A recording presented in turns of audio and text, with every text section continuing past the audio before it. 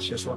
En enregistrant et en, et en chantant sur scène les chansons de Barbara, il prend un risque énorme. Barbara, il a que des coups à prendre parce que c'est un, c'est un mythe, c'est un monument, c'est euh, une institution.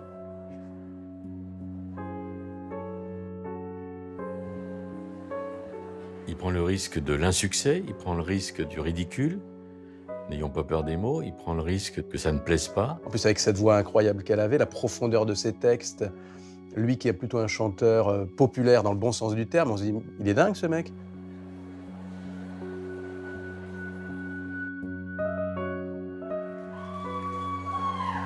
Je lui pose des questions qu'il se pose lui-même, à savoir euh, est-ce que c'est est -ce c'est nécessaire? Pourquoi faire ça? Pourquoi s'exposer à autant de critiques?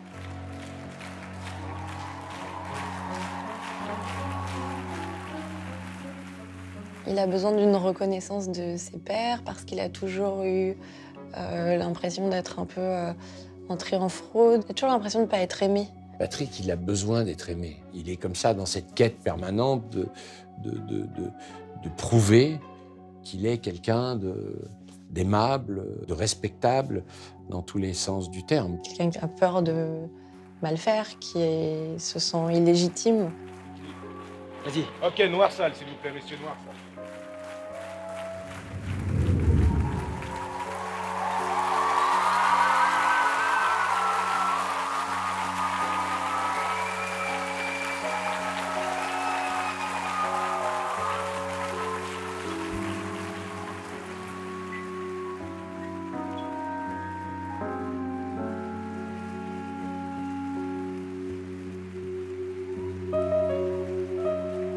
Il a été pris par une espèce de doute, comme s'il devait montrer plus, comme si conquérir le cœur de ses ennemis était la seule chose qui pourrait éventuellement le satisfaire. Et c'est justement pour ça qu'il y va.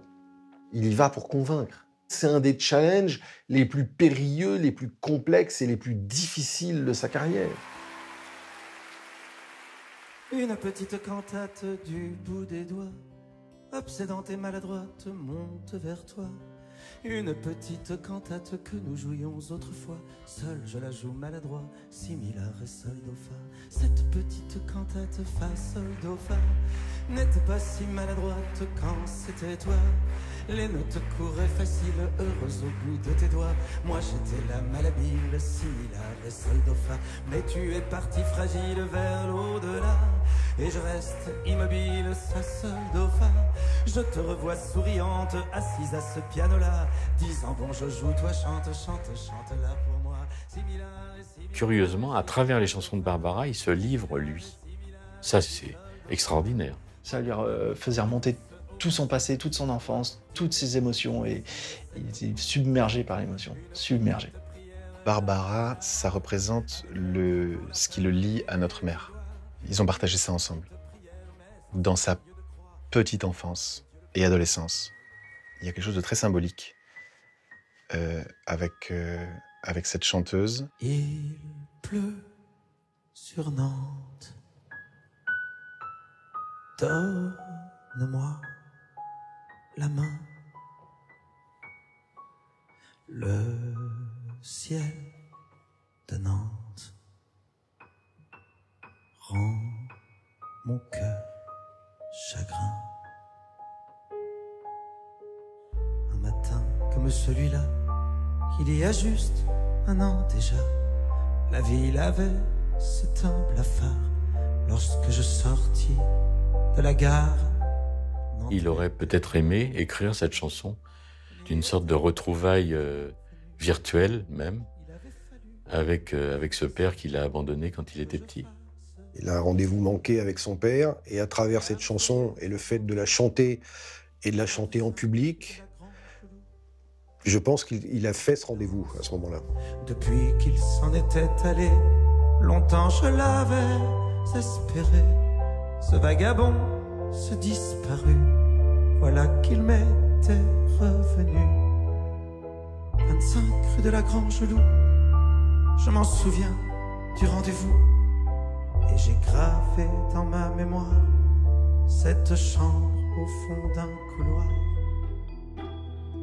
C'était mieux qu'une psychanalyse pour Patrick. Ce disque et les spectacles qui en sont nés lui ont permis de faire un retour euh, merveilleux et profond sur lui-même. Euh, et ça lui a fait du bien, tout simplement. Mon père, mon père.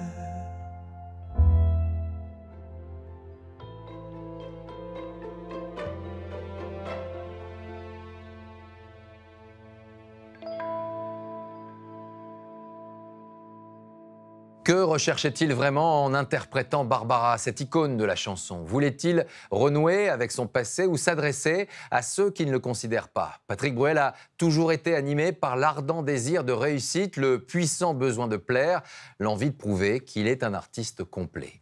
Il a su construire, dès ses débuts, une relation intense avec son public au point de remplir l'Olympia au milieu des années 80 pendant plusieurs jours alors que son premier album n'avait reçu qu'un accueil très limité. Dans les années 90, il a fallu inventer un terme pour qualifier le phénomène qu'il était devenu.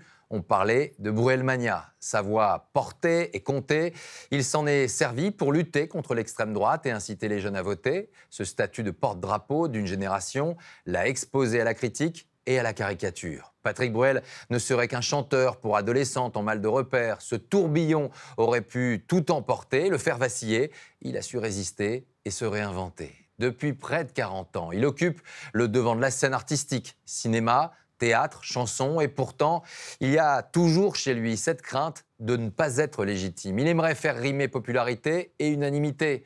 Alors, d'où vient cette soif, ce désir de réussite, cette pugnacité qui le caractérise remonte à l'enfance. La clé est peut-être à trouver dans une absence compensée par un amour fusionnel.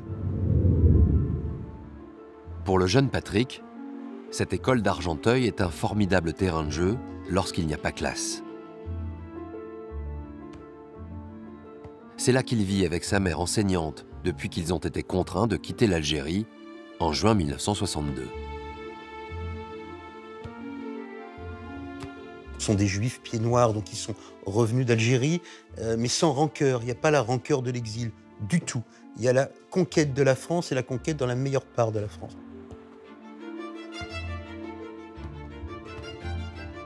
Donc euh, il fallait une espèce de volonté de s'intégrer sans nécessairement oublier ce qu'on est.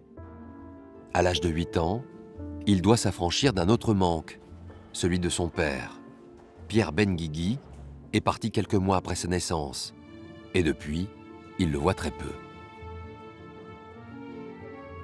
Un enfant qui, euh, à 3 ans, quitte l'Algérie avec sa maman, et va vivre avec sa maman pendant des années, seul, il va forcément avoir une vie un peu particulière. C'est un tête-à-tête entre un fils et une mère. Il est avec une femme qui est seule. Euh, à cette époque-là, c'est pas évident, une femme célibataire qui a peut-être sacrifié sur son passage quelques histoires d'amour pour s'occuper de son fils. Ils vont s'inventer une vie tous les deux, très proches.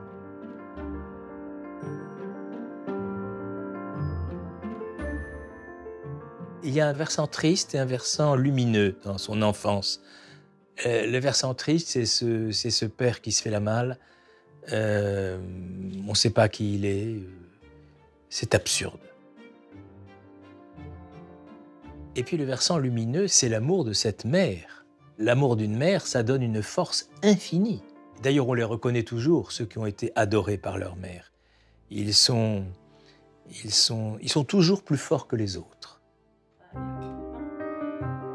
C'est sa mère qui en a fait cet enfant roi, justement. Patrick est le centre de toutes les attentions. Tous les vendredis soirs, il retrouve toute la famille pour le dîner de Shabbat, selon la tradition juive.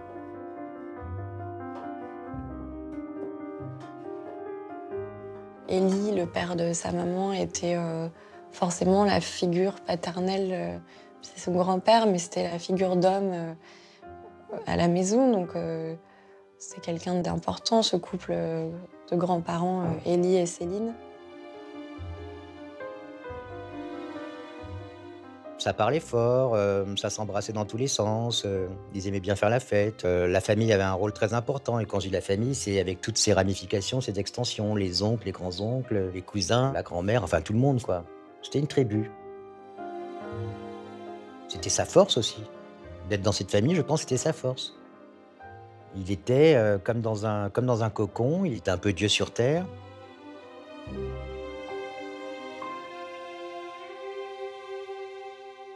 Quelques années plus tard, ce cocon familial protecteur, cet équilibre, va être perturbé par un nouvel événement. Patrick a 11 ans lorsque sa mère épouse un architecte, également artiste peintre. Pendant la cérémonie, il ne fait que pleurer sans qu'on comprenne bien si ce sont des larmes de joie, de soulagement ou, de peine profonde de voir cesser ce tête-à-tête entre lui et sa mère. Le jeune adolescent se retrouve dès lors propulsé dans un univers dont il ne maîtrise pas les codes. Ce petit euh, juif euh, émigré euh, euh, arrive dans une famille purement française, franco-française, la bourgeoisie française, etc. Ça lui demande encore un effort d'adaptation. Patrick expérimente, quand il est enfant, son charme. Instinctivement, assez rapidement, comme un grand footballeur trouve sa place sur le terrain, il saura se positionner. Il est capable de pénétrer indifféremment tous les milieux et d'en faire son miel. Cette capacité d'adaptation va lui être utile lorsqu'il quitte la banlieue pour un quartier chic de la capitale. Désormais scolarisé au lycée Henri IV dans le 5e arrondissement, il fréquente des jeunes de bonne famille, chez qui il se fait inviter. Ça le dérangeait pas une seconde, lui. On sentait pas chez lui du tout un problème social. hein. Il avait aucun complexe. Il était parfaitement à l'aise dans ce milieu-là. En général, je faisais un peu engueuler par ma mère parce qu'elle était euh, un tout petit peu sans gêne. Et ma mère aimait bien les gens bien élevés qui euh, savaient reposer leur assiette sur la table. Il se levait, il avait fini de manger, il allait regarder la télé, il allumait la télé euh, au milieu du repas parce qu'il fallait pas perdre le début du match de foot. Enfin voilà, le, le- mec un peu sans gêne qui débarque chez toi, quoi. Mais ma mère, elle me laissait pas sortir si c'était pas avec lui. Il savait pas se tenir, mais on savait que s'il était là, il n'y avait pas de problème. Ce garçon qui inspire confiance va alors devenir naturellement le leader de cette bande de copains. Patrick est un séducteur, il a envie qu'on l'aime, il a envie d'aimer, il, voilà, il aime l'amour, il aime les filles, il aime les aventures. euh, et, et oui, sait faire, ouais. Un type qui joue du piano, qui euh, joue de la guitare, qui chante, euh, qui est pas mal. Pour séduire les filles, c'était quand même le top. On était extrêmement jaloux. Nous, on tenait des soirées avec lui. Hein. On tenait des soirées. Qu'est-ce qu'on chantait? Bah, Du Sardou, du Sanson, euh, du euh, Serge Lama, euh, du Amsterdam. Moi, ça me faisait pleurer quand il chantait Amsterdam. Et puis de temps en temps, bah, on avait envie de, voilà, de mettre des disques et de danser. De temps en temps, il nous disait Ah oui, vous en avez marre hein, de moi, hein. alors on voulait mettre de la musique. Et alors on lui disait Bah non, continue de jouer, t'as raison, c'est très bien. Lui qui rêvait de devenir footballeur professionnel, imagine à 15 ans un autre avenir. Un jour, il nous déclare qu'il veut être euh, chanteur. On n'a rien dit, on s'est rien dit, et on s'est dit Waouh C'était sa passion, quoi. Vraiment, c'était ça, son truc. Ça, ça l'animait profondément. Au point de passer son temps dans les salles mythiques parisiennes pour y observer les plus grands artistes de music hall. Il n'avait pas un sou. Il passait toujours par derrière, je ne sais pas comment il faisait, mais il rentrait toujours en se démerdant pour, pour rentrer sans payer. Il arrivait, regardait la bonne femme qui était à l'entrée. euh, euh, mais vous êtes merveilleuse, vous. Enfin, je sais pas, un truc où tu te dis, ça va pas prendre, c'est vraiment trop gros, quoi. Et tu voyais, ça passait. C'était quand même un talent, ça. Il arrive à rencontrer euh, des artistes, il arrive à rentrer dans des loges. Il était partout où il fallait être au, au moment où il fallait y être, quoi. Il était très présent, ouais. Il faisait de l'entrisme, en fait. C'est quelqu'un qui a des rêves, des désirs et qui, qui fait tout pour les réaliser. Quoi. Il insiste, il lâche rien. Il lâche rien. Mais en même temps, il a une- un tel potentiel solaire qu'on est ravi de lui céder.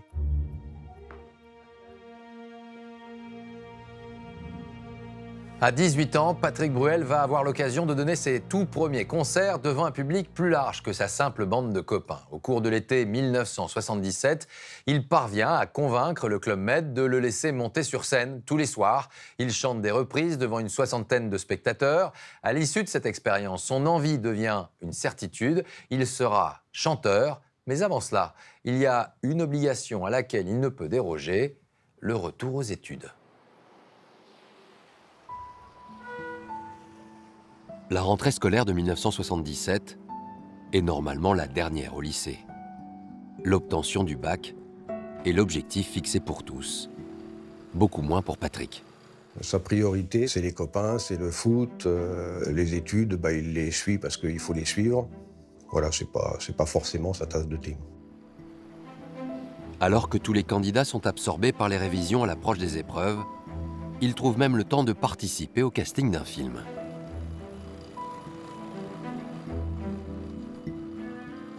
Rechercher un adolescent euh, d'une quinzaine d'années, entre 15 et 17 ans, avec l'accent pied noir. Ses copains au lycée lui ont dit Mais attends, quand tu nous fais rire, tu prends tellement l'accent, pourquoi tu y vas pas? Au naturel, il ne l'avait pas. Il avait l'accent d'un titi parisien. Mais, euh, mais il le prenait très bien, l'accent pied noir. Mais de toute façon, il le connaissait par cœur. C'était, euh, il est né dedans.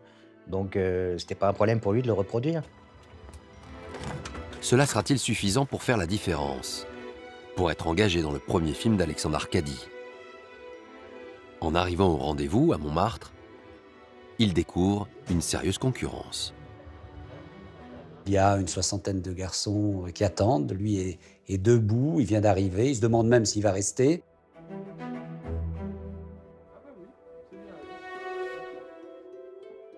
Déjà, immédiatement, je sais que j'ai trouvé mon personnage. Arcadie a dû voir un peu un double de lui-même, quoi, gamin. Et ça a fonctionné. Le réalisateur a trouvé son personnage, mais il n'arrête pas pour autant les auditions.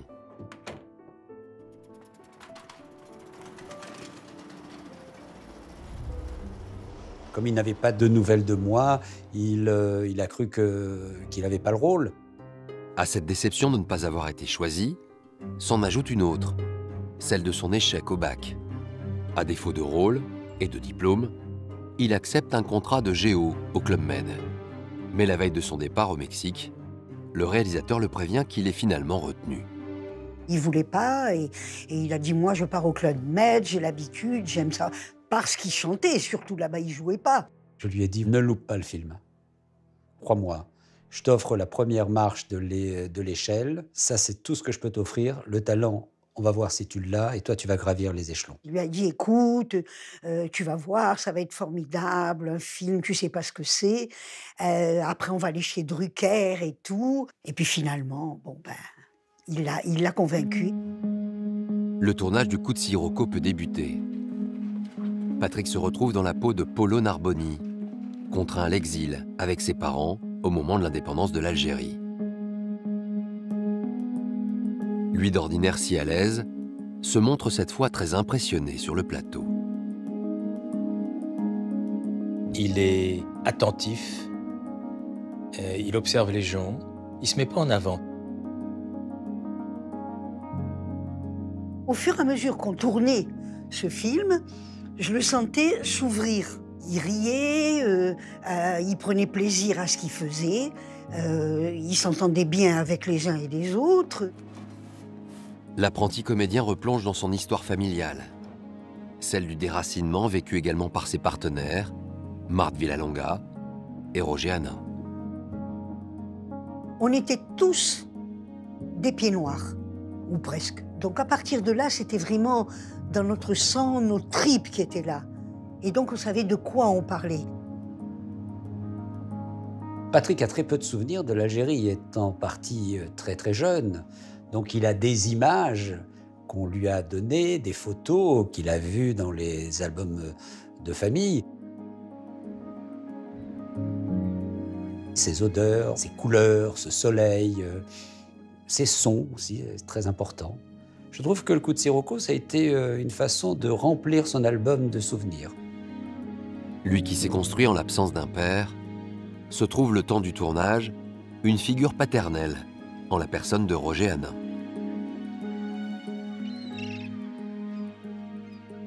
Comme Patrick a toujours euh, cherché son père quelque part dans la vie, ce père de cinéma l'a pris sous son aile. Il aimait beaucoup euh, Patrick. Il l'aimait beaucoup. Il me le disait souvent.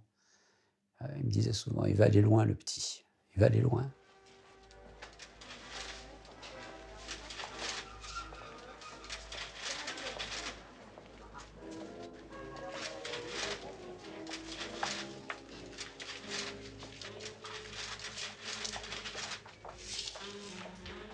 Alors, Polo, tu veux que je te présente? Tu es là à tourner comme une mouche. Arrête, papa. Voilà. Celui-là, c'est mon fils Polo. Polo, Monique. Maintenant, je t'ai présenté, tu te débrouilles. Attaque. Quel titre vous voulez écouter? Euh, T'aimer t'aimer follement.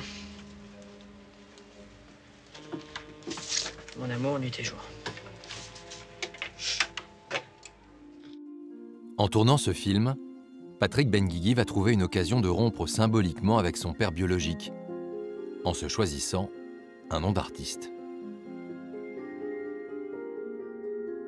Un jour, sur le tournage, il est venu me voir en me disant Je crois que j'ai trouvé euh, mon surnom, je ne veux pas garder le, nom que j'ai, euh, je, je crois que j'ai trouvé. J'ai dit C'est quoi? Il dit Bruel. Oui, pourquoi pas. Et puis dans Bruel, il y avait un peu Brel, donc euh, ça ne m'étonnait pas. Il sort du monde de l'adolescence pour basculer dans le monde de l'adulte, et là, il affirme totalement euh, cette volonté d'avoir une propre identité. À 20 ans, c'est donc sous le nom de Patrick Bruel que le jeune homme sort de l'adolescence et de l'anonymat. Le coup de Sirocco sera un succès en réunissant 1 500 000 spectateurs. Il ne sait pas trop ce qui lui arrive. Il est content parce que parce qu'on parle beaucoup du film, parce qu'on doit certainement lui dire Ah, on t'a vu, enfin les copains, tout ça, euh, oh, ça nous a plu, etc., etc. Et comme Alexandre Arcadi lui avait promis, l'équipe du film est invitée dans l'émission de variété la plus regardée de l'époque, chez Michel Drucker. Comme j'avais l'habitude de plaisanter un peu avec l'accent pied noir euh, en me forçant un peu, Vous j'ai ne réussi pensiez pas à- du tout au métier d'acteur Si, j'avais pensé, j'avais passé des auditions pour un film l'année dernière. Ça n'a pas marché Quel J'avais film? pensé l'hôtel de la plage. Ah oui.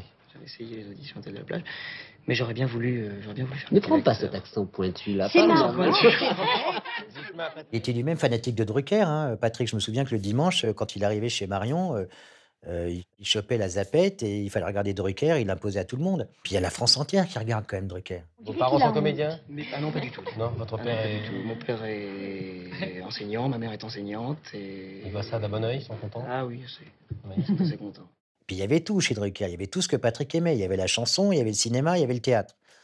Il ne pouvait pas espérer mieux, quoi. Il vit un rêve, quoi. Il est. euh, c'est pas un aboutissement, mais c'est c'est le début de quelque chose, forcément. Cette première expérience au cinéma ne suffit pas à tranquilliser sa mère Augusta. Pour la rassurer, il décroche son bac l'année suivante et dans la foulée, il s'inscrit à l'université. Mais il y allait peut-être pas souvent quand même. On avait quand même bien d'autres choses à faire, entre les castings, les rendez-vous, les rencontres des réalisateurs, le théâtre. Ça y est, il est, il est, par- il est, il est parti, il est dans son truc. Il sait qu'il veut faire ça. Il sait qu'il va y arriver. Les études, c'est- c'est c'est annexe. Ce qu'il rêve de mener, c'est toujours une carrière de chanteur. En attendant, il accepte tout ce qu'on lui propose, y compris un spot de publicité pour une barre chocolatée.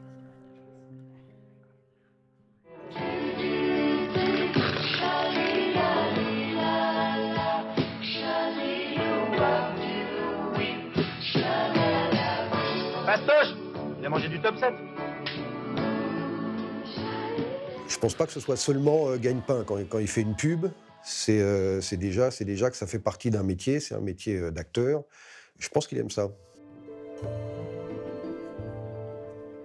Il a vraiment l'envie de réussir euh, déjà à cet âge-là, chevillé au corps, hein, de faire sa route, son chemin, d'écrire son destin lui-même, en se donnant les moyens de le faire, de le faire vraiment, pour être reconnu, célèbre. Euh, il y avait vraiment ça écrit chez lui très très tôt. Rien n'est encore fait, mais Patrick Bruel n'envisage pas une autre issue que la réussite. Et dans cette quête de notoriété, il va tenter un autre défi.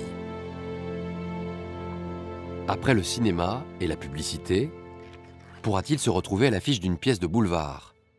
Lui qui n'a suivi aucune formation théâtrale, saura-t-il séduire l'auteur de la pièce, la comédienne Pierrette Bruno? Pierrette, au départ, voulait des comédiens, des jeunes comédiens, issus de très bons cours, voire du conservatoire, voire de la rue Blanche. J'ai fait la rue Blanche.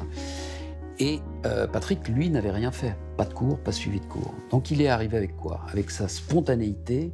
Un beau paquet de toutes vos vieilleries là pour l'armée du salut. Ce jour-là, Micheline Boudet, la comédienne vedette de cette future pièce, assiste à tous les essais. Quoi? Une brique et demie? Qu'est-ce que c'est Qu'est-ce que tu me prends? Et hop, la puce. Il n'est pas le seul, naturellement, il y a d'autres euh, concurrents qui se présentent pour ce rôle. Et immédiatement, Pierrette Bruno a flashé. Oh, Comme ça, elle, elle a trouvé. Oh, mais tu as vu ce corps qu'il a?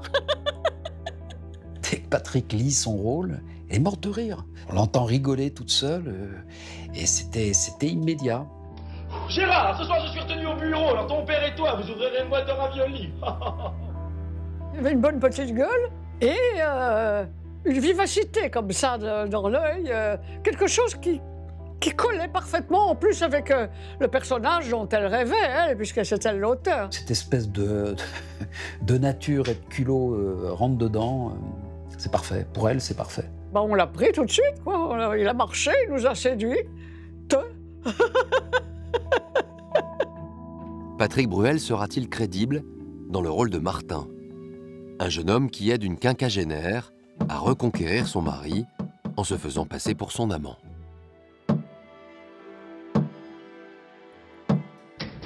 Michel vient de s'envoyer en l'air avec sa moto!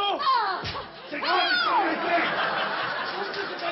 Ah, je vous jure Marie-Colette Marie-Colette Tapez-lui dans les mains, je vais chercher un peu d'eau fraîche. C'est ça, mettez quelques glaçons dedans Je vous aime bien, Martin. Moi aussi, monsieur. Ben, madame, vous savez bien que c'est du bidon Heureusement que je le sais, c'est un coup à tomber raide morte. Oh, vous êtes formidable Il connaissait pas du tout les ficelles. C'est ça que vous appelez déménagement Je revois euh, Micheline le pousser, lui faire signe en disant Vas-y, enchaîne. Parce qu'il était complètement euh, déstabilisé par, euh, par les rires. Attention, il va revenir. Oh, pensez-vous maladroit comme il est, il en a pour 10 minutes. Vous êtes vraiment une grande actrice, hein Même moi qui suis un gugus de première, je ferais pas aussi bien. Michel Martin Qu'est-ce qui vous arrive? Martin Il n'était pas travailleur, mais il avait beaucoup de facilité. Il fait n'importe quoi, mais c'est bien. Grisé par les rires et par les applaudissements, le comédien n'a aucune envie d'être interrompu par le service militaire obligatoire. Encore une fois, il va se montrer persuasif. Il a réussi, euh, parce que c'est un énorme séducteur, euh, à séduire toute sa hiérarchie pour avoir des, des permissions euh, en permanence et de se retrouver en réalité à faire euh, un mi-temps, un service militaire à mi-temps. Mais il draguait tout le monde, et surtout, il convainquait tout le monde. Ce qui est quand même du talent, c'est pas évident de convaincre. C'est un super commercial. Le Chari-Marie restera à l'affiche pendant deux ans. La pièce sera jouée 460 fois. Pour Patrick Bruel, c'est une étape de plus dans le parcours ambitieux qu'il s'est fixé. Je sentais déjà qu'il avait envie de sortir de, du commun. il avait très envie de devenir déjà quelqu'un. Il était quand même très curieux de connaître un petit peu Paris, quoi. Alors il me disait, et un tel, tu le connais? Tu le connais? Ah, tu me présenteras, hein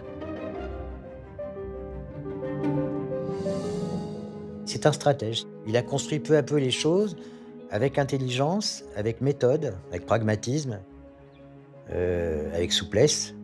Là-dessus, effectivement, il était très doué aussi.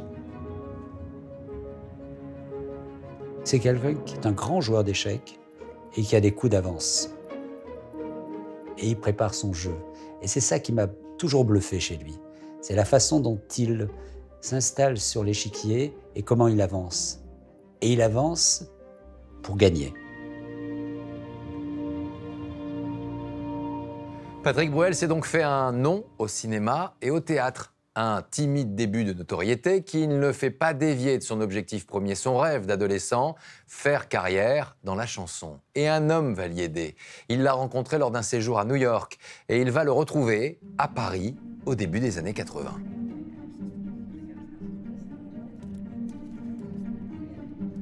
On a une espèce de coup de foudre amoureux.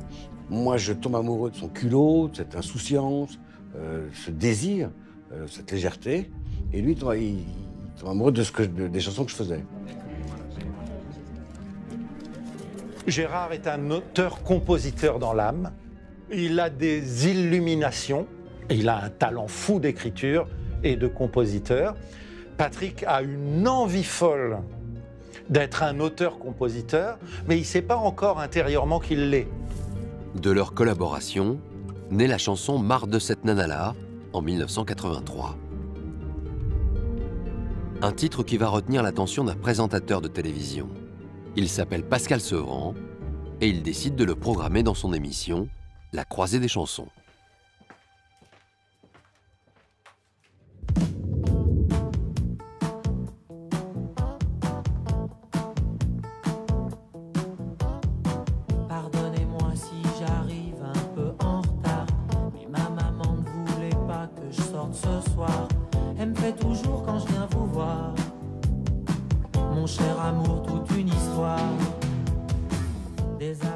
Ah, C'était euh, Perdez-moi, mon cher amour. je- J'arrive en retard, mais quand je viens vous voir, je me fais toujours un petit pétard. Bon, C'était ça le texte du départ. Et c'est Evelyne, ma femme, qui a dit peut-être ça passera pas. Il y a une forme d'autocensure.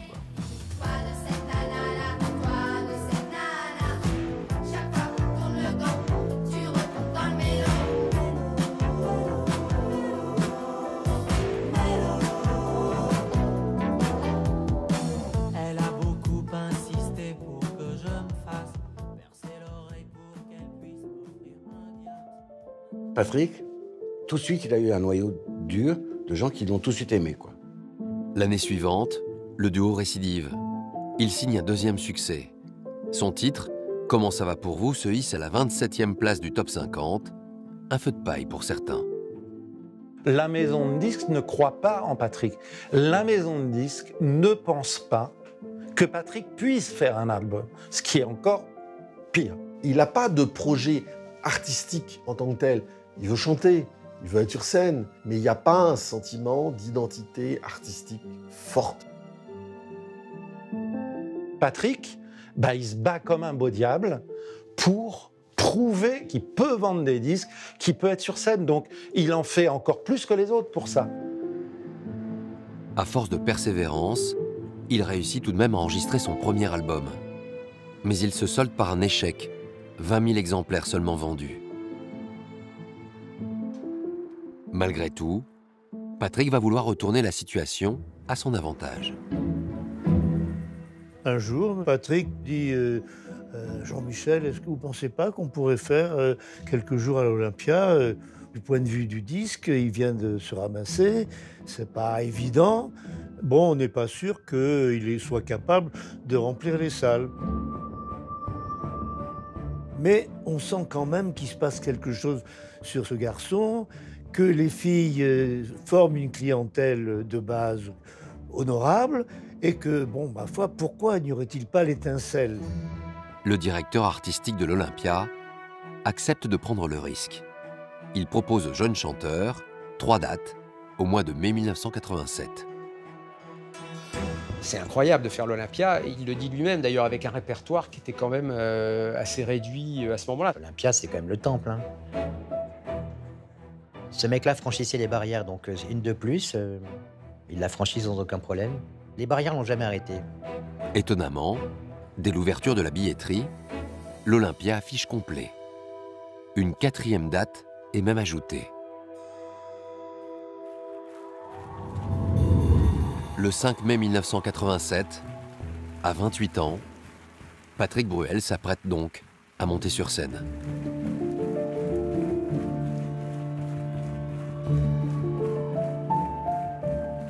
Il a passé des heures devant euh, l'Olympia à regarder et à rêver un jour d'y être. Et, voilà. Et il y est.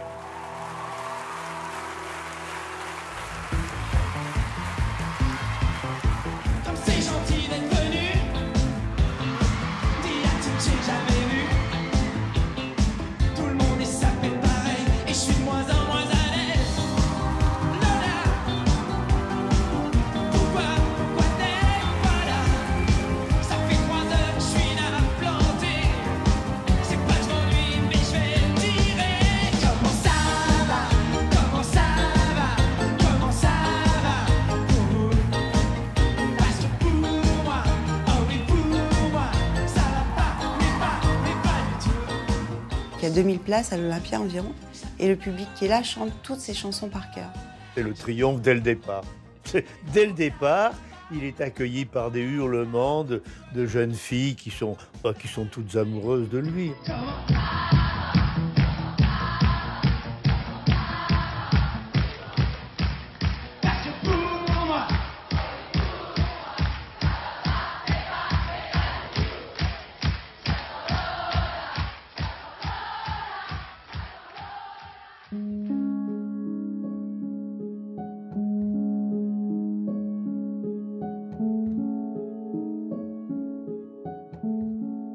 Je suis stupéfait quand je le vois, parce que je le vois dans la journée, il est comme tous les copains, euh, et sur scène, c'est quelqu'un d'autre. En tous les cas, la réaction qu'il provoque est euh, incompréhensible tellement elle est énorme.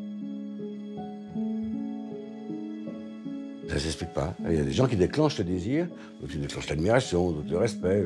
Bon, lui, il a déclenché tout de suite forme de désir, tout de suite, avant même d'être vraiment connu. Il, s'est tout de suite, il a tout de suite eu un public de fidèles euh, dès le début. Entre la salle et lui, il s'est passé quelque chose d'extraordinaire qu'il attendait, qu'il espérait et qui est arrivé.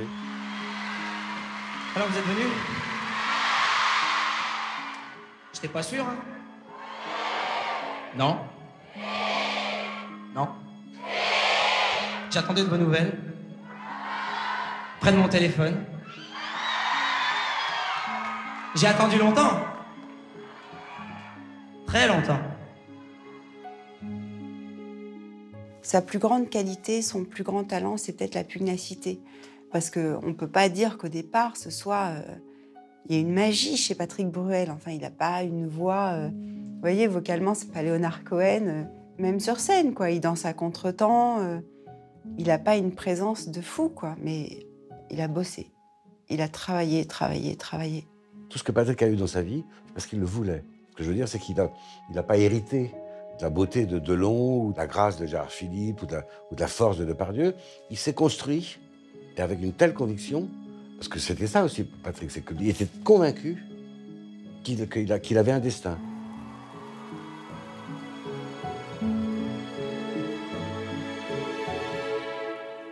C'est à l'issue d'un concert de Michel Sardou à l'Olympia en janvier 1975 que Patrick Bruel s'était juré d'y chanter lui aussi. 12 ans plus tard, il l'a donc fait.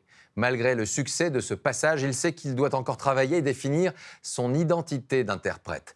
En revanche, son parcours au cinéma se précise. On l'a vu en 1985 dans la comédie à succès Prof, qui a réuni 3 millions de spectateurs. Il tourne ensuite sous la direction de Claude Lelouch, Attention bandit en 1987, puis La maison assassinée de Georges Lautner en 1988. Cette année-là, justement, Alexandre Arcadi, le réalisateur de ses débuts, a un nouveau projet pour lui.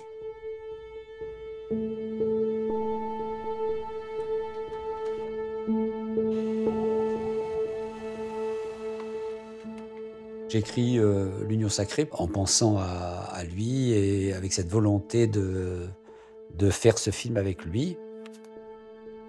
Il doit incarner Simon Atlan, un policier de la brigade des stupes qui met constamment en avant son appartenance à la communauté juive.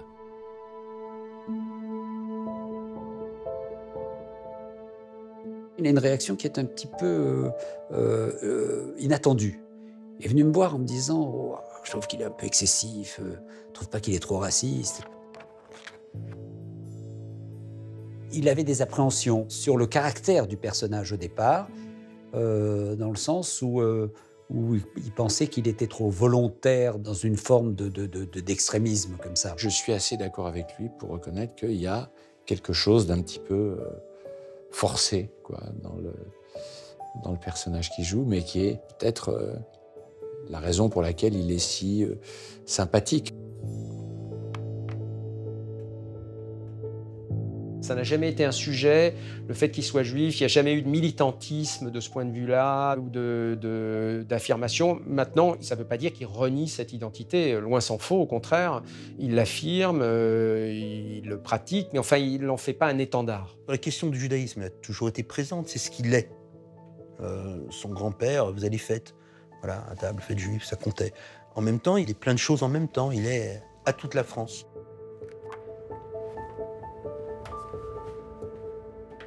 Patrick est quelqu'un de très classique de sa génération, euh, quelqu'un qui souhaite que la paix euh, arrive au Proche-Orient, qu'il y ait un État palestinien à côté d'Israël et que ces États euh, vivent séparés en bonne intelligence. Il est amoureux d'Israël comme beaucoup, beaucoup de juifs le sont, mais ce n'est pas une raison d'intervenir et de crier en permanence Vive Israël.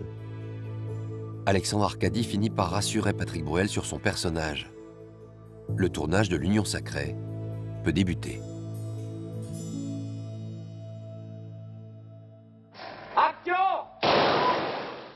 Tu vas prendre ton arme, doucement Vas-y Lâche-le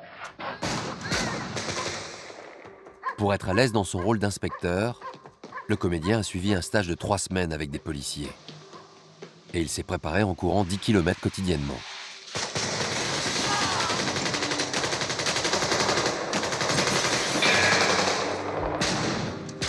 Physiquement, il était assez affûté à ce moment-là. Et euh, il tenait, je sais pas, à faire son, son Belmondo, quoi, si vous voulez. Pour exemple, euh, nous étions en train de faire une séquence au Trocadéro et euh, sur une grue, sur le bras d'une grue. Truc assez dangereux à faire. Et il a voulu faire un peu. euh, non, non, non, je fais, je fais moi la cascade.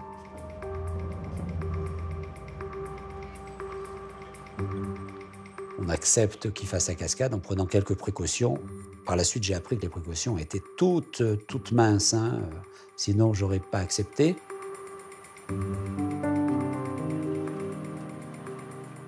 Je sentais hésiter et à un moment donné, bon, euh, je lui dis Patrick, si tu veux pas, euh, on met le cascadeur et, et on doit tourner. Non, non, non, non, j'y vais, j'y vais, j'y vais. Bah, il fallait avoir du courage, hein, vraiment.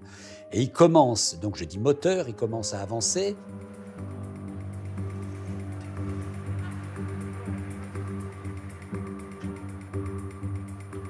Et après deux pas, il arrête, il me dit coupe, coupe, coupe. J'ai peur, je coupe, qu'est-ce qui se passe? Il dit non mais attends qu'il y ait un bus ou des voitures en bas, on va croire qu'on l'a fait en studio. Quelle clairvoyance.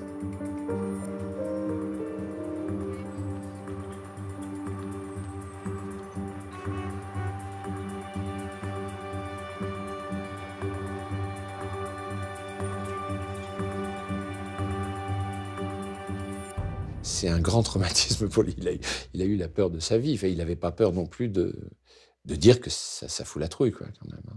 Moi, je suis, enfin, je suis juif dans le film. Et, et va arriver pour faire équipe avec moi un, type d'origine algérienne qui est joué par Richard Berry. Et ça va être le premier, premier conflit. T'es une merde, une merde pourrie qui transporte de la drogue. Alors tu vas dégager ton cul, retourner avec les autres, d'accord?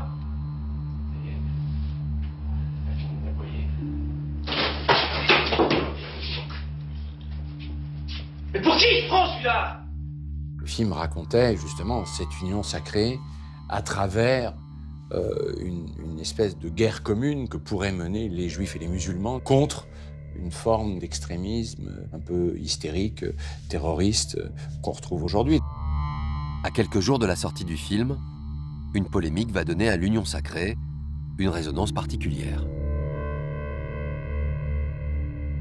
L'effervescence ne retombe pas à propos de l'affaire des versets sataniques de l'écrivain d'origine indienne Salman Rushdie. Les uns après les autres, les grands pays musulmans interdisent la publication de l'ouvrage et dans de nombreux autres pays, les communautés musulmanes se mobilisent. Aujourd'hui à Paris, une manifestation était organisée et certaines banderoles portaient inscrits très nettement ces quatre mots La mort pour Rushdie. C'est l'actualité qui s'est emparée de, euh, du spectacle. Tout le monde est, euh, est, euh, est effaré, effrayé par une telle, telle chose. À mort Rajdi, Allah Akbar, c'est-à-dire Dieu est grand, deux cris entendus des centaines de fois entre le métro Barbès et la place de la République, deux cris poussés par environ un millier de manifestants. Il est déjà mort. Il le fait très bien, Rushdie. Il est déjà mort. C'est une question qu'il faut même pas se poser.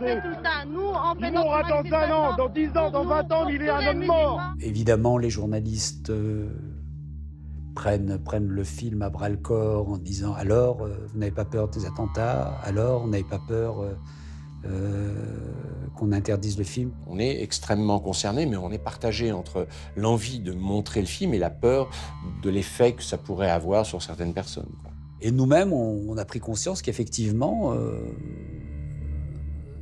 ça pouvait peut-être dégénérer. Dès lors, des mesures de protection exceptionnelles sont mises en place dans plusieurs salles de cinéma. C'est une ville de province assez calme, disons. On a la police qui vient faire des rondes toutes les heures. Et mon Dieu, ça se passe bien. La police vient voir s'il y a des bombes, par exemple Oui, oui, oui. Les... Ils vont dans toutes les salles et ils ouvrent même. Il faut ouvrir les gros sacs. La promotion du film se focalise sur la condamnation de l'extrémisme religieux et du terrorisme. Sur les plateaux de télévision, Patrick Bruel est amené à prendre position. Là où le bas blesse, c'est qu'en dépit de quelques précautions oratoires louables, ce cocktail explosif fait en fait l'amalgame musulman-terroriste. À demain, François. Mais je crois que Patrick a, a- a quelque chose à, à répondre. Bah, je trouve que c'est le. Je suis pas du tout d'accord avec beaucoup de choses que vient de dire François. Euh, je pense que c'est un film qui, au contraire, ne fait absolument pas l'amalgame musulman-terroriste. Ce film est un pamphlet contre l'intolérance et qui est un film réellement antiraciste. Tout le monde, tout le monde connaît mes appartenances à SOS Racisme et à toutes ces euh, organisations de ce genre. Ça, ça fait partie de son vrai personnage. Il a des, idées politiques euh, claires et euh, il n'en a jamais changé. Et dans ces idées claires, la lutte contre l'extrémisme et le fascisme est très présente. Ça a toujours été un, un- un spectateur engagé. Il a une conscience politique extrêmement développée. Je crois que ce film a été fait dans le plus grand respect de la, de la religion, de toutes les religions. Il est évident que, que tous les musulmans ne sont pas des terroristes. C'est une chose qui est tellement évidente. On est dans un monde où l'intolérance est à son comble, qu'un film aujourd'hui euh, mette, le doigt, mette le doigt Mhm. là-dessus. Je crois que c'est je crois que c'est très important. On nous dit, mais ce film est très très d'actualité. C'est un film qui marque les esprits. Et forcément, c'est un film qui, qui marque la carrière euh, de Patrick hein, d'une façon forte, hein, parce que c'est un rôle à sa, à sa mesure. Ce rôle dans l'Union sacrée, sa dimension et son entrée en résonance avec l'actualité installent donc encore un peu plus Patrick Bruel en acteur de premier plan. Comme c'est le cas depuis ses débuts, il refuse toujours de faire un choix entre le cinéma et la chanson. Il a besoin des deux. Après le grand écran, le temps est donc venu pour lui de retrouver la musique avec sans surprise une ambition nouvelle. Au printemps 1989, Patrick Bruel enregistre son deuxième album en compagnie de son producteur Mick Lanaro. Il entame la première prise d'une chanson à laquelle il tient vraiment.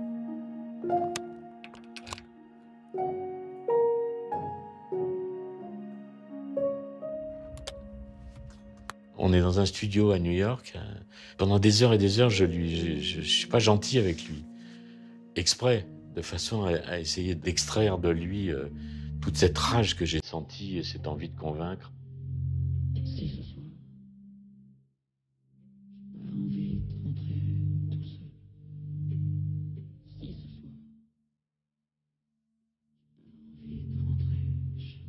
Et pour me prouver que j'ai tort, il y met tout ce qu'il a dans le corps, quoi, et dans la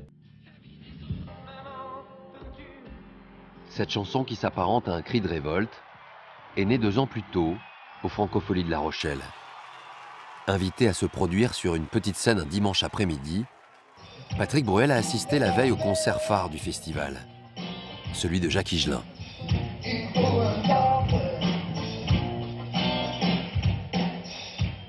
Quand il voit Higelin sur scène, Boel y voit quelque chose qu'il n'a pas, mais qu'il a envie d'avoir.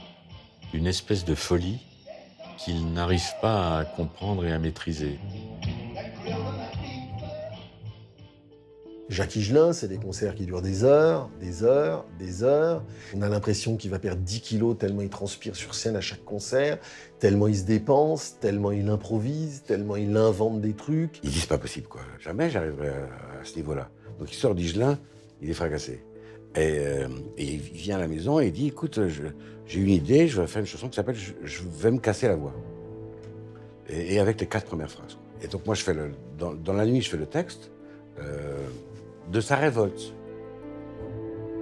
Au moment de la sortie de l'album, c'est ce titre, Casser la voix, que le chanteur choisit de mettre en avant.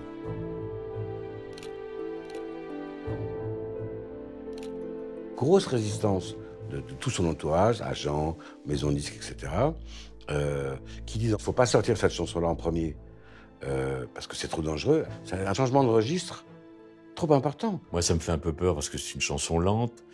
À la radio, euh, c'est peut-être pas une bonne idée. Mais il se bat et il, a- et il, euh, il réussit à imposer à tout le monde que la promotion de l'album va commencer par casser la voix. En faisant ce choix, Patrick Bruel réussira-t-il à montrer aux médias et à son public un nouveau visage, plus grave?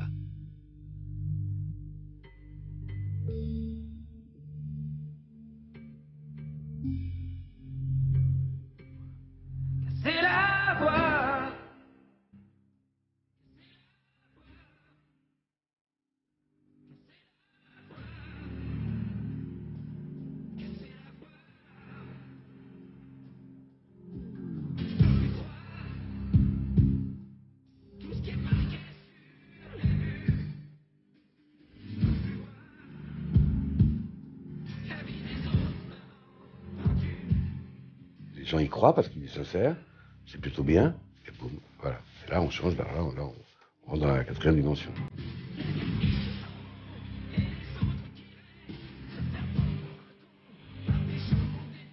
En quelques semaines, ce titre devient un hymne, et le reste de l'album lui apporte la consécration.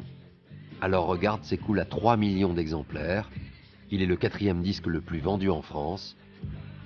À 30 ans, la vie de Patrick Bruel vient de basculer.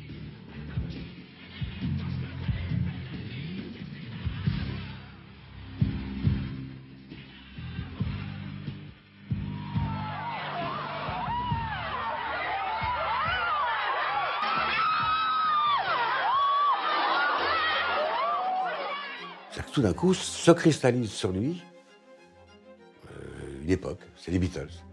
Mais c'est hallucinant, vraiment. C'est des milliers de personnes euh, chaque soir dans, la salle, des dizaines de milliers de personnes, c'est des millions de disques vendus, c'est euh, une, ad- une adulation, une, ad- idolâtrie. on est totalement dans l'irrationnel. Euh, on veut Patrick, on veut tout, on aime tout chez Patrick.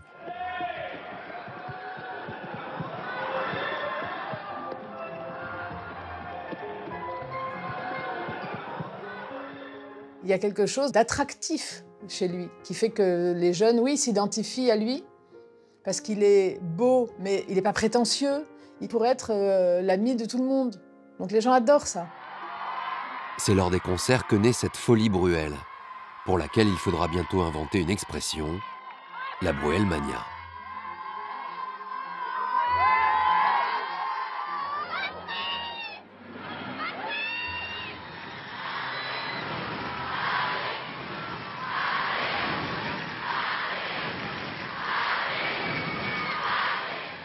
On était derrière un tulle noir qui tombait à la première chanson, qui était Alors Regarde.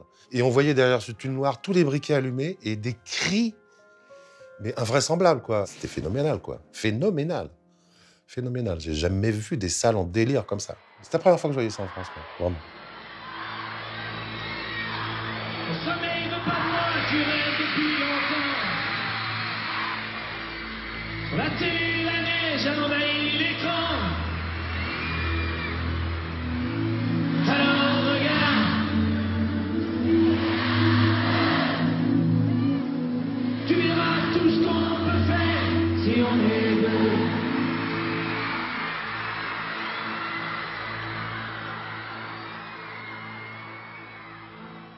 C'est un public de fans qui se pressent aux portes des salles à 11h du matin pour être les premières au crash barrière, c'est-à-dire devant, devant, devant la scène.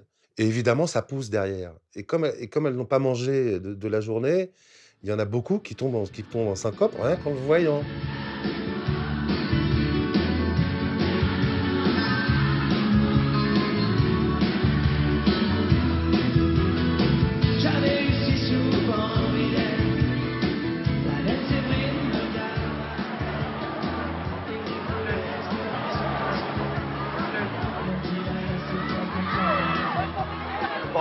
Pas. Il y a les médecins, le SAMU, les pompiers, tout le monde bosse. hein.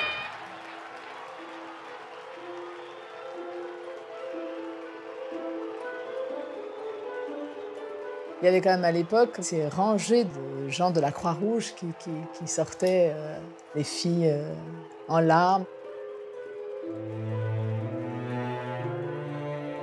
Il est une espèce de dieu vivant pour les gens qui, qui l'aiment à ce point-là. Il y a des filles qui se jettent sous les roues de ma voiture quand je viens le chercher euh, euh, à la fin du concert. Si j'ai le malheur de baisser la vitre parce que parce qu'une une des- une de ces filles tape trop fort à la vitre, elle s'engouffre dans la voiture par la vitre. Il ne pouvait pas se déplacer euh, dans la rue sans avoir une cohorte de fans qui le, le suivaient. Enfin, c'était un succès absolument incroyable et, et très, très déstabilisant. Les filles arrivent toujours à trouver son adresse, pénètrent dans l'immeuble et dorment sur son paillasson. En l'espace de dix ans, Patrick Bruel s'est hissé au rang de très grande star de la chanson. Lui qui rêvait de célébrité et de notoriété, avait-il toutefois imaginé un tel déferlement?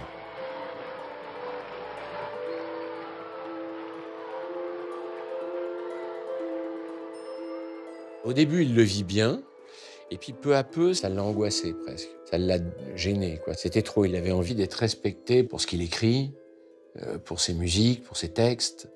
L'adoration à quelque chose d'aveugle et de systématique qui finit par manquer de discernement.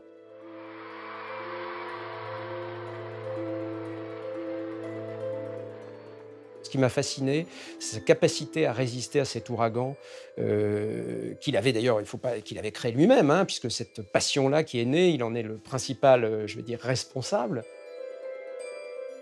Il fallait être très très fort pour résister à tout ce déferlement, à cette vague euh, qui aurait pu tout submerger, y compris son entourage le plus proche, sa famille, ses amis, et il a toujours gardé euh, ces liens-là euh, comme une espèce de, refuge qui le maintenait ancré dans une réalité qui était en train par ailleurs de, de disparaître.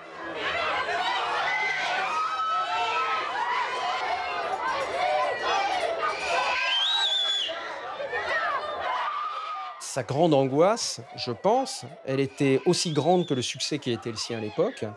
Euh, ça a été de se retrouver catalogué comme euh, chanteur à succès euh, pour jeunes filles qui criaient Patrick.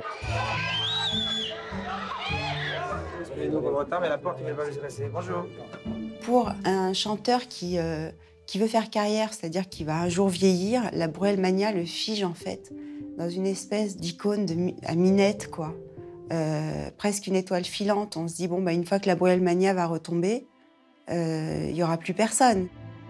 Après une série de tubes et une longue tournée réunissant un million de spectateurs, Patrick Bruel est nommé aux Victoires de la musique en 1991. Il concourt dans trois catégories.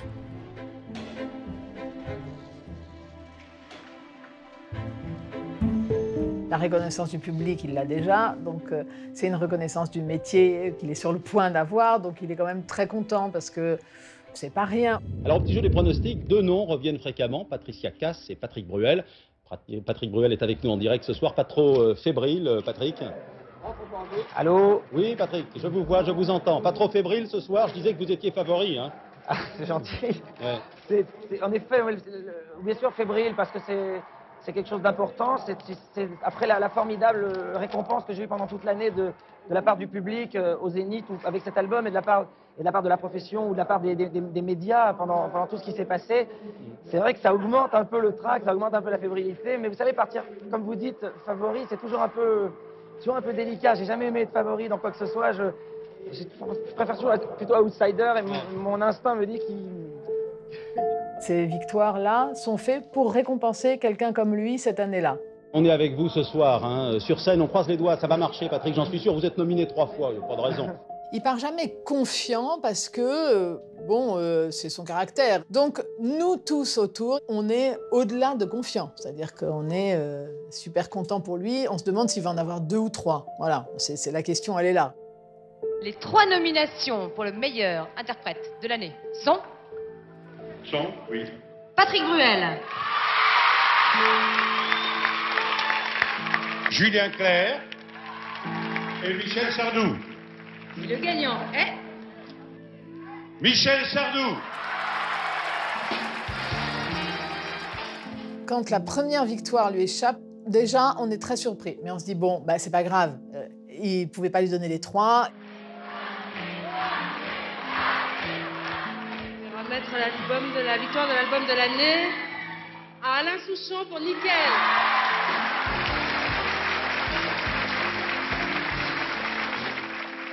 And the winner is Johnny Halliday.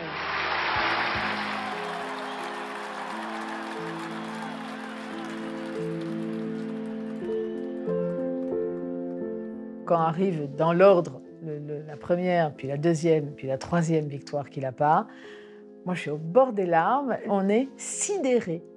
Sidéré parce qu'on ne comprend pas. J'aimerais aussi souligner que euh, euh, n'y a pas que moi qui ai fait beaucoup de monde en 90.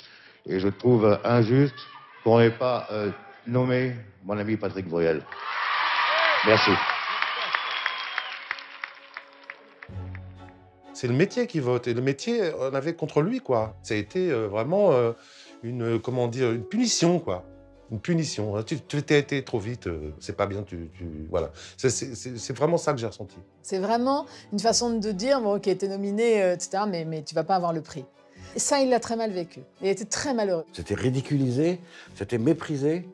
Des, des- des- des milliers de, de- de- de- de fans, d'ados en particulier, pour qui c'était important. C'était méprisé toute notre aventure. Patrick Bruel souffre d'un manque de reconnaissance de ses pairs et de l'image qu'il renvoie. Alors, quelques mois plus tard, il va accepter une invitation, l'occasion de se montrer sous un autre jour. Le 24 novembre 1991, il est l'invité de l'émission phare de l'actualité, le magazine 7 sur 7. Il représente quelque chose dans la génération euh, euh, actuelle. Et j'avais envie de faire parler euh, Bruel de, euh, bah, du monde dans lequel il vivait. On invitait des économistes, des hommes politiques, des écrivains, mais aussi des artistes quand on sentait qu'ils avaient une, une personnalité capable de, de tenir euh, à cette heure de grande écoute et de pouvoir commenter euh, l'actualité.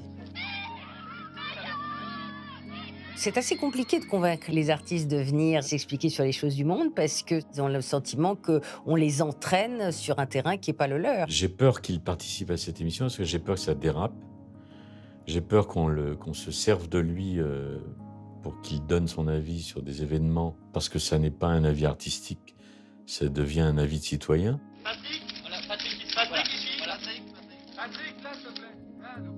Il n'a rien à gagner à faire cette émission. Il a à perdre de se dévoiler d'un point de vue plus personnel, de décevoir, que ses fans se sentent euh, trahis ou n'acceptent pas ses engagements.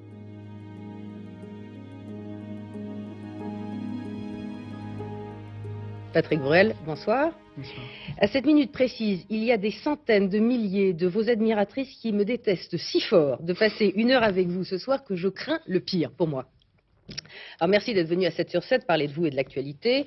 Euh, vous d'abord, on va commencer par ça. Qu'y a-t-il, à votre avis, je parlais de phénomène tout à l'heure, qu'y a-t-il dans le phénomène Bruel pour déclencher une telle passion?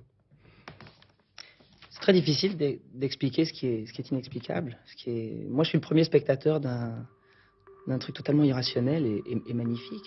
Il s'est beaucoup préparé, hein, il s'est préparé aux questions, il n'a pas voulu aller comme ça en dilettante en se disant ah bon ben, je vais répondre. Non non, il a il a il a il a potassé ses, ses dossiers. euh. On répétait, moi je faisais un 5 et tout, oui. On avait, non, on savait que c'était un truc important. Donc on a préparé ça euh, sérieusement. Et il a envie euh, de montrer que ce qu'il est, c'est-à-dire une vraie, un vrai- une vraie personnalité qui pense des choses et il a envie de les dire. Alors, suite de la semaine, si vous voulez bien, Patrick Bruel, avec les francophones à Paris, les propositions du Front National, je sens qu'on va sûrement... À quelques mois des élections régionales, l'actualité politique est marquée par la progression constante du Front National dans les sondages. Alors, vous, vous avez été indigné? Ah, Moi, je savais que je venais, qu'on allait en parler, alors j'ai pris la peine de le lire. Quand je dis la peine, c'est vraiment ce que ça m'a inspiré. hein. Euh, je vais pas tout vous lire, hein. Non, Sans parler, non, il y en a vous êtes 50. gentil, vous êtes qui gentil, se- non. qui sont, c'est hallucinant. C'est-à-dire que ça se situe entre Vichy et l'apartheid en Afrique du Sud, à peu près. C'est hallucinant. C'était tout ce qu'il détestait, enfin les valeurs de, euh, prônées par, euh, par à l'époque par Jean-Marie Le Pen et par son parti euh, d'extrême droite à l'époque, c'était vraiment un truc qui le révulsait. Évidemment qu'il y a des problèmes, on peut pas se les cacher. Il y a des problèmes d'immigration, des problèmes de chômage, il y a des problèmes énormes. Mais le Front National n'en résoudra jamais aucun. Il faut dire aux gens d'aller voter, d'aller voter. Parce que ne pas voter, c'est donner sa voix à celui qui va gagner.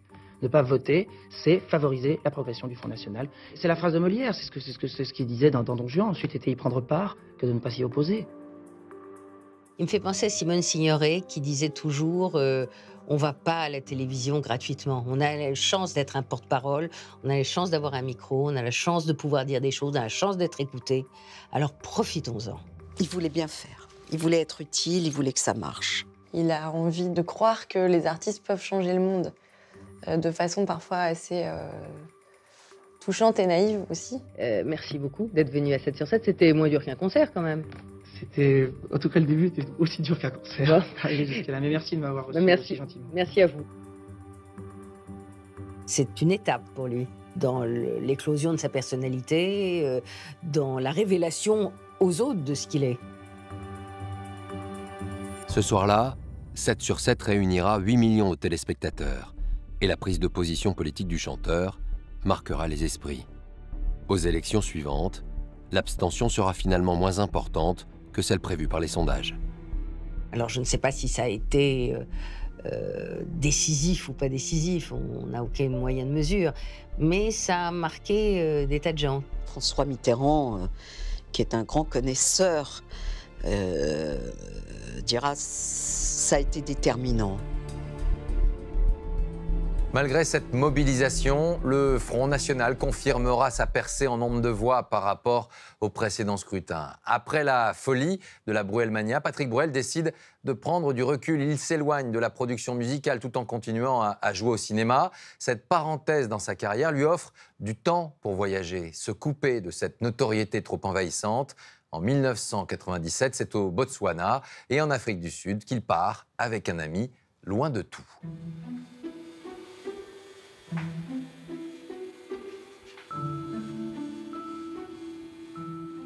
Bon, bah ça marche. On décide de faire un tour, euh, donc un safari photo au Botswana, et puis aussi de faire la- le tour des wine farms. Voilà, parce que Patrick avait juré de me faire déguster les meilleurs vins du monde. C'est un petit avion, hein C'est pas un deck, c'est un petit avion. I can drive helicopter. Really? Yeah, but not plane. Oh yeah! Il a besoin de prendre du, du recul sur, euh, sur les choses extérieures, de refaire un point sur euh, vraiment les fondamentaux, de voir où il en est euh, dans, dans- dans sa vie d'homme avant tout et sa vie professionnelle. Il a envie de prendre cette distance euh, avec cette Bruelmania, de se protéger, parce que ça devient une question de survie.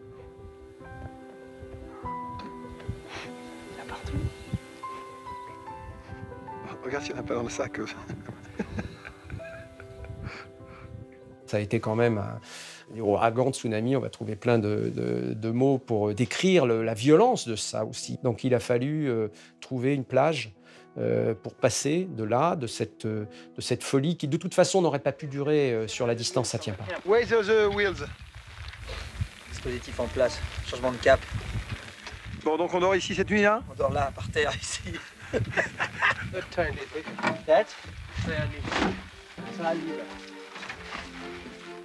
Eh, émène-toi. Je crois qu'il y a un lion derrière toi, si tu de monter.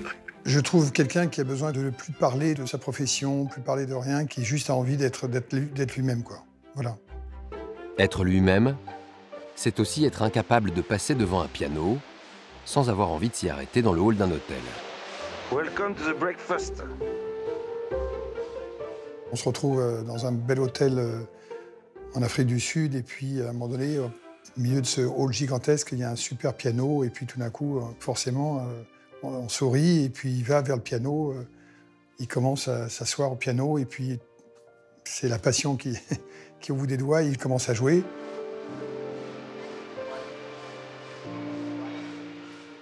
Puis tout d'un coup, il y a un colosse qui arrive. Hey guys, you have to stop. It's only for professional.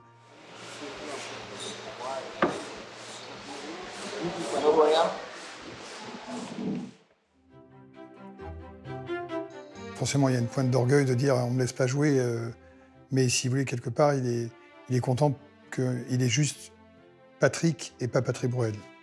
la prochaine fois, on vous emmène. Hein. Ouais, mais c'est pas sûr. Ça dépend. Faut passer le test d'abord.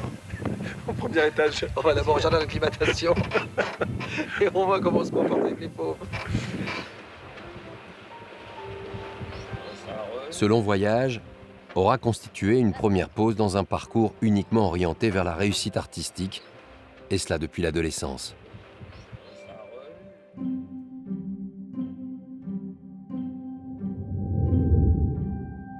Il faudra ensuite attendre l'âge de 40 ans pour le voir ouvrir un autre chapitre.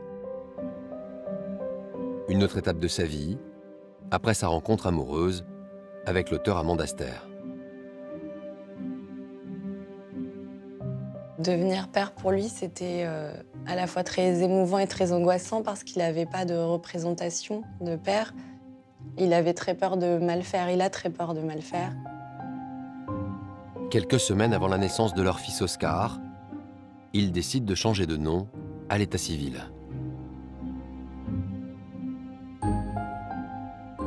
Il a passé 30 euh, ans de sa vie à ce qu'on l'appelle Bruel, et donc euh, il voulait que son fils porte le nom qui était le sien et pas celui d'un père euh, qu'il connaissait moins.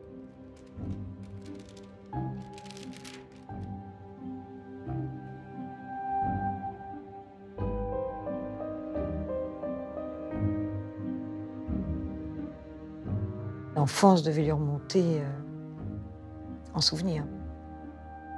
Mais en tout cas, il disait, il nous disait souvent, euh, voilà, qu'il veut être tout le temps là pour lui, qu'il veut vraiment euh, ne jamais être absent et qu'il sera présent avec lui avant, avant, avant même son métier. C'était très touchant, mais c'était euh, une bagarre pour savoir qui allait donner le bain, parce qu'il adorait donner le bain, donc il fallait que ce soit toujours lui. En fait, je sais pas trop pourquoi on avait engagé une babysitter, puisque en fait, il n'y avait jamais de place pour la babysitter. Il veut tellement bien faire que parfois, il fait trop.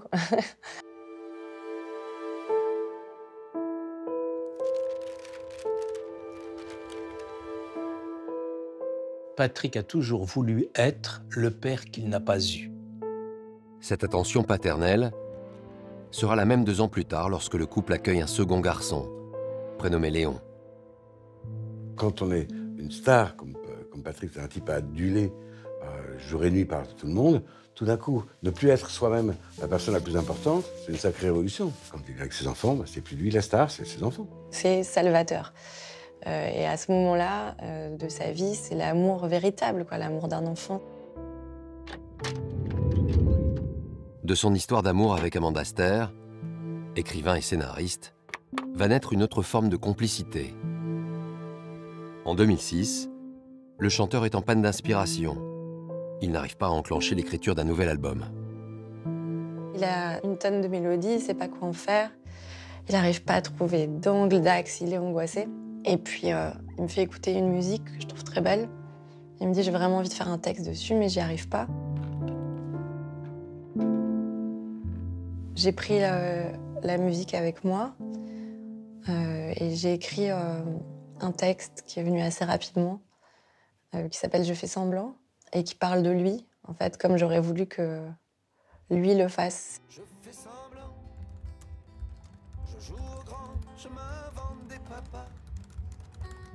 Des grands efforts à qui je ressemble pas, mais qui me donnent la force de croire en moi.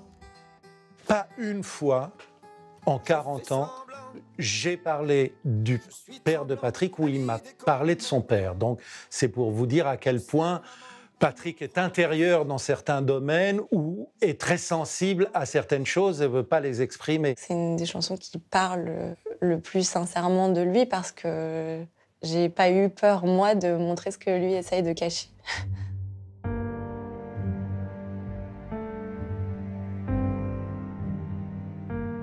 Ça a été le point de départ du nouvel album, parce qu'il est ému par le texte et parce qu'il euh, retrouve du plaisir à avoir une chanson finie, ça en appelle une autre, mais aussi parce que j'écris le texte et qu'il a envie de faire mieux. Et Patrick, c'est quelqu'un qui a ce truc-là en lui de compétiteur aussi. À 50 ans, Patrick Bruel reste un artiste insatiable.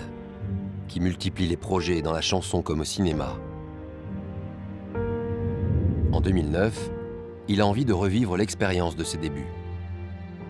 Je suis en train de lire tranquillement et euh, quelqu'un arrive dans mon dos euh, à pas de loup et m'arrache le manuscrit et il me crie de loin euh, Quand j'aurai fini, je te le rendrai.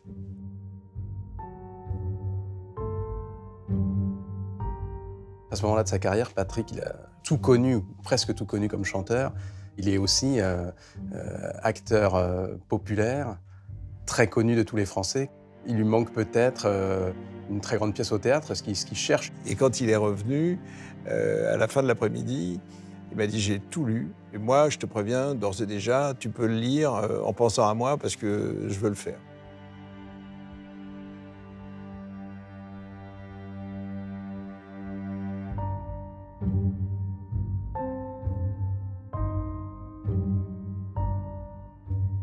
Nous, quand on a écrit le prénom, on n'a pas du tout pensé à Patrick. On peut imaginer euh, logiquement qu'il doit chercher à l'époque un projet où c'est lui qui a tout à manger, où c'est le spectacle d'un acteur. Alors là, c'est pas du tout le cas, c'est un spectacle de troupe. Le prénom, c'est une pièce où il y a cinq rôles et qui sont tous aussi importants les uns que les autres. Et donc on est extrêmement étonné, extrêmement flatté, mais très surpris. Très honnêtement, je méfie de Patrick. Je me dis, est-ce qu'un type qui vient de la chanson, qui vient du poker, qui vient du cinéma, qui a un espèce de touche-à-tout comme ça, est-ce qu'il va accepter de partager? Parce que le, le- le théâtre, c'est un métier de partage. Est-ce qu'il va pas bouffer tout le monde? Est-ce qu'il va pas vouloir prendre le pouvoir sur le spectacle? On a évidemment peur d'être euh, embarqué dans quelque chose qui nous appartient plus. Les doutes des auteurs et des comédiens de la troupe seront-ils confirmés? Je pense voir arriver une star et je vois arriver un gamin euh, qui a envie de lire, euh, qui ne tarit pas d'éloges, qui est extrêmement accessible. Je vois un acteur comme les autres qui vient avec sa petite brochure, qui écoute le metteur en scène, écoute les auteurs, euh, prend des notes, enfin travaille vraiment de façon tout à fait humble. On commence par quoi? Ça dépend, c'est pour boire ou pour se Cette première lecture collective à laquelle participe Patrick Bruel fait figure de test. Il a lu un livre dans sa vie, il fallait que ça tombe sur celui-là. Je crois même que c'est toi qui me l'as offert. Mais depuis quand tu dis ce que je t'offre? Ça a été une très mauvaise lecture parce que ils ont tellement ri tous, et Patrick le premier, qu'on n'entendait pas la pièce. C'est tellement drôle que, surtout Patrick, je dois bien le dire, n'arrive pas à aller au bout de ses propres phrases, tellement il rit, mais à pleurer de rire. C'est-à-dire qu'on s'arrête, on reprend notre respiration, on repart dedans. C'est une histoire de famille, et la famille, elle est, elle est née là. Et je pense qu'elle est beaucoup venue de l'attitude de Patrick et de son plaisir et de sa joie complètement au premier degré d'entrer dans cette aventure. Levez le dos dans 30 minutes. Il est revenu, Patrick Elles sont pas sur le buffet pendant le vide-poche, c'est ça Ouais. Mais si, tu sais. Détends-toi maintenant. Tu sais. On va peut-être mettre un petit costard Ah oui, tant qu'à faire, hein Tant qu'à faire. Tant qu'à faire. Après deux mois de répétition, arrive enfin l'heure du lancement de la pièce. Levez le rideau dans 15 minutes. Merci. C'est des moments où on ne sait plus pourquoi on est là. On ne sait plus si c'est drôle, Patrick ne sait plus s'il est bien. On est vraiment dans un moment, euh, je me souviens, de, de trouble. C'était la dernière répétition. Donc ils sont curieux de venir. Merde, merde, merde. Comment le public va-t-il réagir à cette comédie? Son thème? Une réunion de famille tourne au règlement de compte lorsque le personnage de Vincent, incarné par Patrick Bruel, annonce le prénom qu'il va donner à son enfant. Ça rit pas pendant 10 minutes. hein. Les 10 premières minutes, c'est un peu l'exposition. Ça ne rit pas du tout. Moi, j'ai l'impression que ça dure trois ans. Enfin, je, je suis en eau. Enfin, c'est c'est terrible. Et le cœur qui bat extrêmement vite. Prière de ne pas oublier que je suis différent. Prière de ne pas croire que je suis classique. Ici habite une famille d'artistes de gauche abonnés à Télérama, même s'ils n'ont pas la télé. Et arrive le moment où euh, Patrick dit le fameux nom interdit, le fameux prénom, pour la première fois. Et là, il y a cinq secondes d'un silence qui est encore plus grand, ce silence de la stupéfaction, je pense, encore plus grand que celui d'avant. Oui, je trouve ridicule de donner des prénoms qui n'existent pas. Et là, c'est une explosion, une espèce de libération qui, à partir du moment où il commence, ne s'arrête plus. T'as pas fait ça? J'ai pas fait quoi?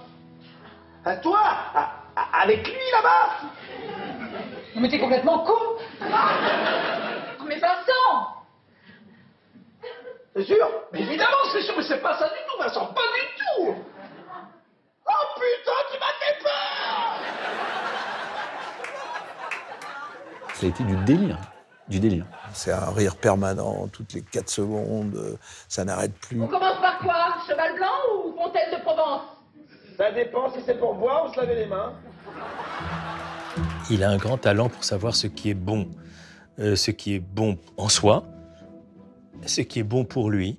Il sait euh, euh, où le succès l'attend. Il le sait. C'est c'est une grâce, ça, n'est-ce pas? Il, il, ne, il, ne, s'est jamais fourvoyé. Le prénom sera joué 240 fois.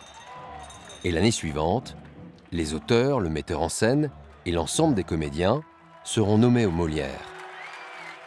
Tous, sauf un, Patrick Bruel. C'est comme si vous n'existiez pas. On va nommer tout le monde sauf vous. On a vu une pièce, mais tiens, c'est bizarre, vous n'étiez pas dans la pièce. Il est blessé, mais même furieux, parce qu'il euh, a fait le travail comme les autres, en répétition, en promotion, tous les soirs en scène. Euh, il n'usurpe pas son rôle, euh, ni sa place. C'est-à-dire que les gens vous en veulent toujours de réussir sans eux dans le métier. C'est quelqu'un qui a décidé de ne pas choisir dans la vie. Il a décidé qu'il irait au bout de ses passions, comme il l'entend, comme il le sent, en prenant beaucoup de risques. Et tout le monde n'aime pas ça. Ça ne l'empêche pas de continuer sa carrière, mais c'est vrai que fait partie toujours de ses frustrations, euh, de vouloir être probablement euh, aimé par tout le monde et de pas comprendre pourquoi euh, c'est pas venu ou pourquoi c'est pas arrivé jusqu'à maintenant. Près de 40 ans après ses débuts, Patrick Bruel reste aujourd'hui un artiste populaire, un chanteur et un acteur qui ne cesse de vouloir se réinventer, sans doute pour ne pas perdre ce qu'il cherche depuis l'enfance. Il aurait pu disparaître 100 fois. Et il est toujours euh, réapparu, et souvent là où on ne l'attendait pas. Il ne se satisfait jamais de, de l'image de la veille. Elle est, elle est, C'était hier et il continue quoi, à avancer vers euh, quelque chose qui ne sait peut-être pas lui-même.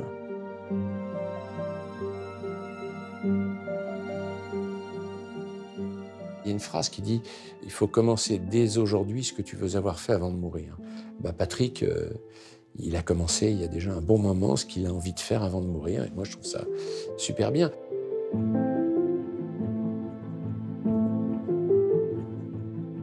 C'est un ogre.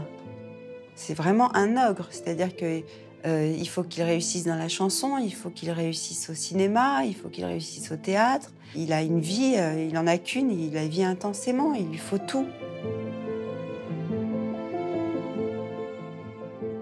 Pas encore rassasié. Et tant mieux pour lui. Euh, il n'est pas rassasié. Donc, il faut s'attendre à ce qu'il relève des, nouveaux défis, des, des paris qu'on ne peut pas imaginer aujourd'hui. Mais je fais confiance.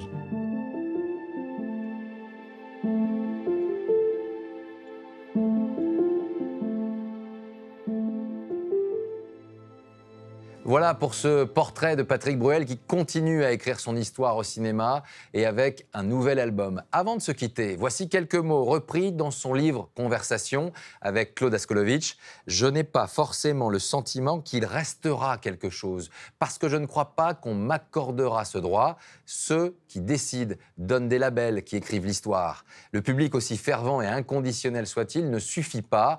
On a forcément besoin de reconnaissance officielle, institutionnelle, celle qui laisse une trace. À très bientôt pour un prochain numéro d'Un jour un destin.